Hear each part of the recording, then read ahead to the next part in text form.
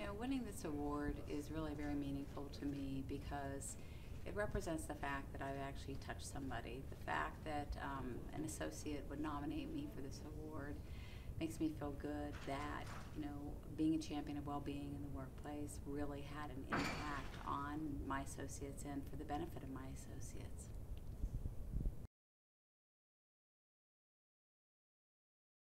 I'm most proud of the fact that our group segment implemented digital detox because it has such a phenomenal impact across all of our associate population. And as per, we agreed not to send emails um, or texts from Friday evenings at 6 p.m. through Monday mornings at 6 a.m. And the reason I'm really proud of it is because it's so critical for employees to be able to take time over the weekend to re-energize so that they can really bring their A game to work. It's important for them to be able to connect with their families, connect with their lo loved ones, and just really be able to step away from it all. And digital detox has helped them uh, achieve that rejuvenation.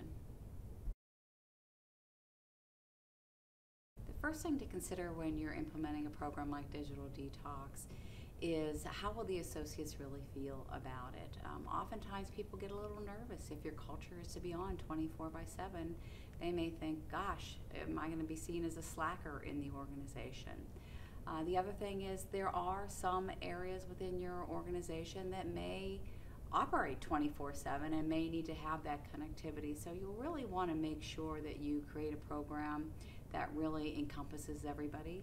Um, if you do have a, an organization that has to be on 24 7, then maybe you reach agreement, for example, that emails or texts are really only going to be emergencies and routine correspondence won't happen over the weekend. That gives your associates a little bit of downtime. So I think really thinking about how you can adjust the program. And then the other thing I would uh, say is to be committed. If you agree to this, it's really, really important that you model the behavior and very gently, um, you know, nudge people who may not be playing along.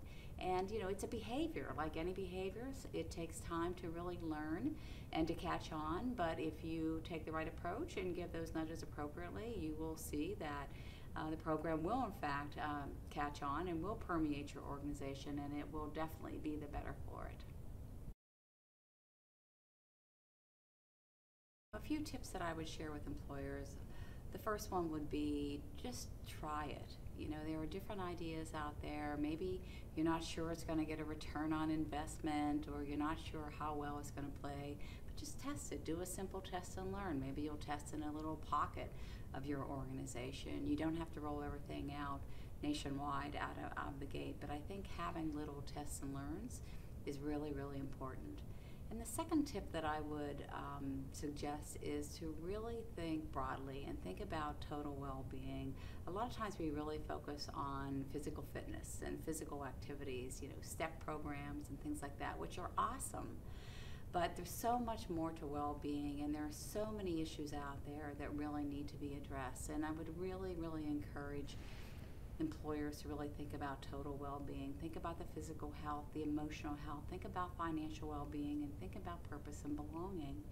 And you know really offer a broad program. I think the broader that you can get the more that you can get your employees engaged because someone may not be into the physical step part of it but you know maybe they're really interested in bettering their financial well-being or they're really interested in, in volunteering and I think when you broaden your scope, you just really help create a stronger fabric of well being in your organization.